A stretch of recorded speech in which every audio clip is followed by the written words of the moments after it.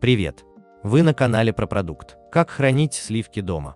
Сливки – быстро портящийся молочный продукт, обладающий массой полезных свойств. Им часто находится применение в кулинарии не только для приготовления десертов и сладких кремов, но и в процессе создания соусов или густых крем-супов. Как хранить сливки правильно, чтобы не испортить продукт раньше времени, знает не каждая хозяйка, ведь они требуют бережного обращения. Неправильное хранение может привести к тому, что сливочки не взобьются или потеряют свои первоначальные вкусовые качества. Выбор продукта. Как правило, на стол сливки попадают с витрины магазина либо приобретаются на рынке. Каждый из них имеет свои плюсы и минусы. Магазинная продукция, как правило, бывает двух видов – пастеризованный и стерилизованный. Важно учитывать, что каждый из них имеет свой срок годности – так, пастеризованные сливочки можно хранить не более 3-4 дней, при этом размещать их следует в самом холодном месте холодильника, поближе к морозильной камере. Стерилизованные сливки теряют практически все свои полезные свойства за счет обработки, но при этом приобретают длительный срок хранения. Их можно хранить до 6 месяцев.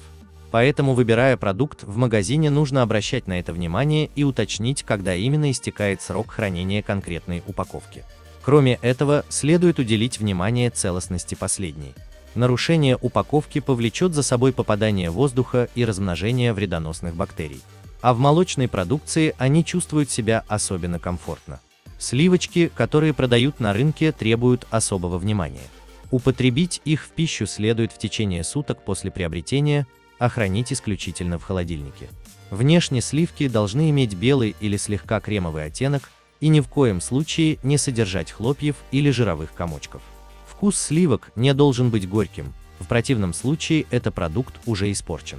Хранение в зависимости от обработки. Сливки имеют более густой состав и высокую жирность в сравнении с молоком. Натуральный продукт получают путем сепарирования молока.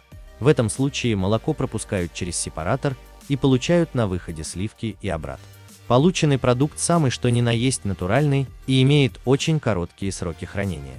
Свежие сливочки хранятся не более трех суток, при этом следует соблюдать условия. Чем холоднее будет место, в котором они располагаются, тем дольше получится сохранить покупку. Совет.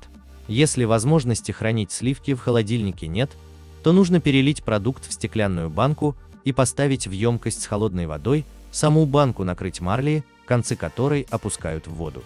Так сливочки простоят без холодильника, но не дольше суток. Пастеризованные сливочки, принесенные из магазина, хранятся немного дольше, от 4-7 дней. Но стоит помнить, что эти условия касаются целой упаковки. Открытые сливки не стоит хранить дольше двух дней. Стерилизованный продукт имеет длительный срок хранения и часто не требует холодильника, но это распространяется только на упакованную тару. Сколько можно хранить распакованную молочную продукцию? Все так же, хранить дольше 2-3 дней нежелательно.